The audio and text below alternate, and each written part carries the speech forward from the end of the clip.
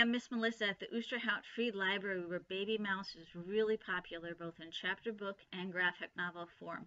So today for First Page Fridays, I have the first in the Babymouse Tales from the Locker series. It's called Lights, Camera, Middle School. Published by Random House, it's by Jennifer Holm and her brother Matthew Holm, who does the illustrations, and there are a lot of them in this chapter book. So I'm going to let those illustrations help me tell the story now.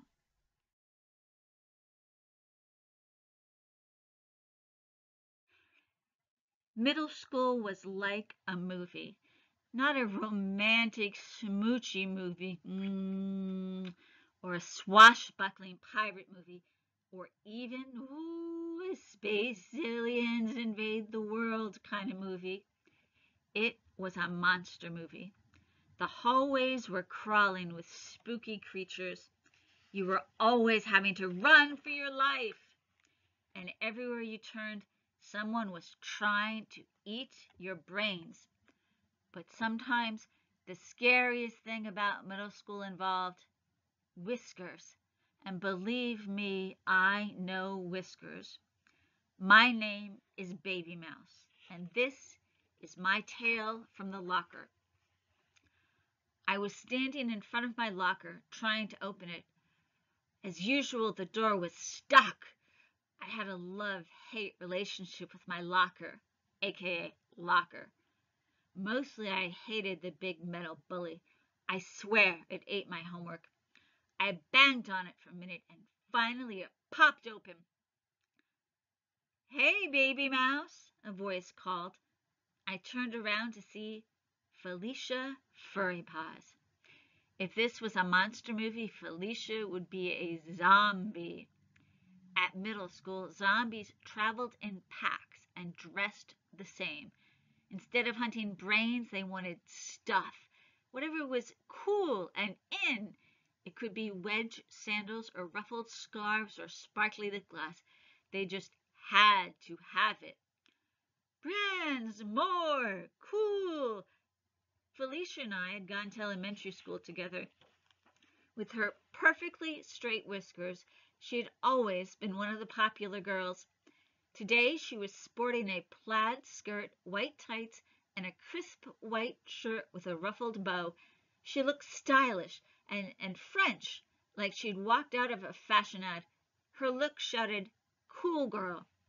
And my look? I wasn't quite sure. I definitely wanted my look to say, and here you can see Babymouse lists several different things. My favorite is the picture of Princess Leia that says, I'm daring, and then the one that says, I think koala bears are underappreciated.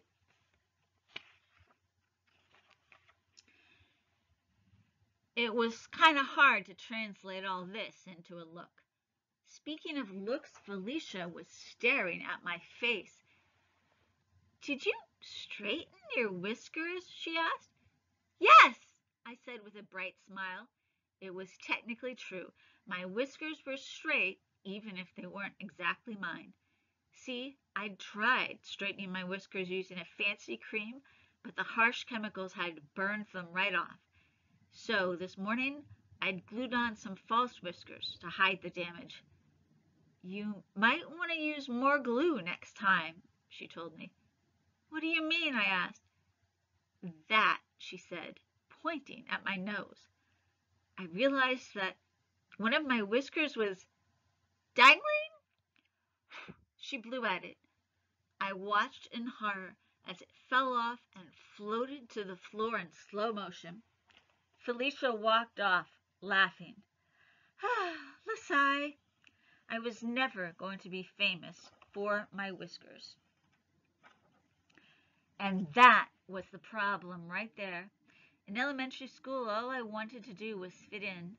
But now that I was in middle school, I wanted to stand out. I wanted to be the one everyone was talking about. I wanted to be famous. So here from the back cover is how she intends to do that. Babymouse doesn't want to fit in. She wants to stand out.